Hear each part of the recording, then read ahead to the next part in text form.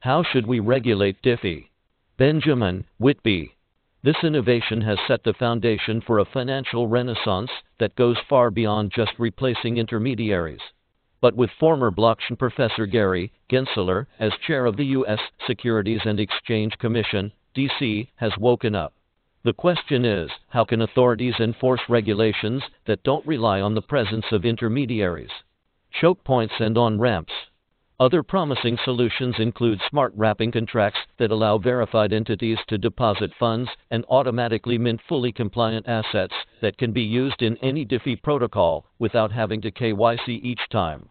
Given such an opportunity to rebuild finance from the ground up, we need to be bold, set clear objectives, and create regulation that smooths the path to get to the new financial world without simply settling for a faster version of what we have today.